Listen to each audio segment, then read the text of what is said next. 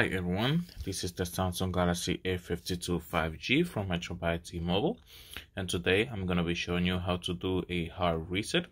If you would like to do a hard reset on the device it's because for some reason the device is not recognizing your fingerprint or you forgot your PIN pattern or password or the device also is not doing the face recognition uh, correctly.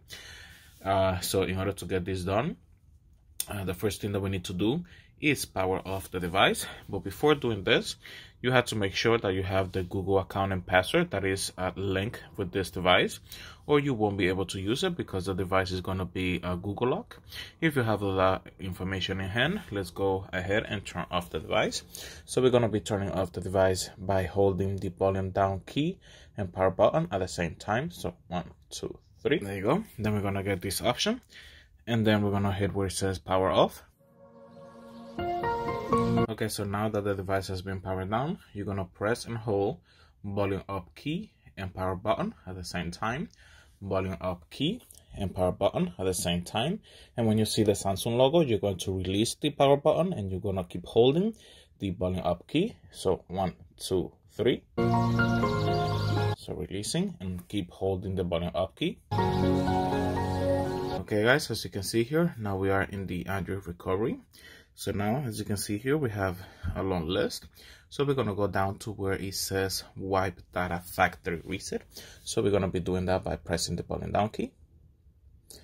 Okay, then when we highlight that portion of the list, it's going to give us a warning. And it says if you phone if your phone is reset, you may need to enter the Google account information, email address, and password associated with this phone to be able to use it again. So press the power button to confirm. Okay, so now we get another warning. It says wipe all user data. This cannot be undone. All data on this device will be erased. If your SD card is encrypted, all data stored on your SD card will also be lost. So volume down to highlight where it says factory data reset.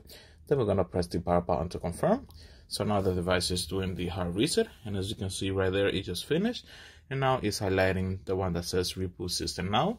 So the only thing that we need to do is just press the power button so the device can reboot.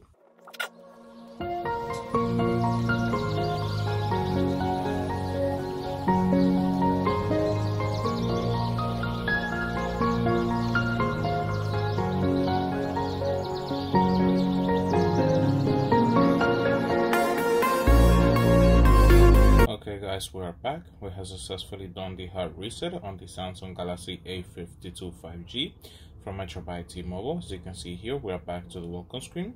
So that's going to be all for this video. So thank you very much for watching my video. If you like my video, please click the like button. You can subscribe to my channel so you can get more content. If you have any question, please leave it down below. Thank you for watching my video. Bye-bye.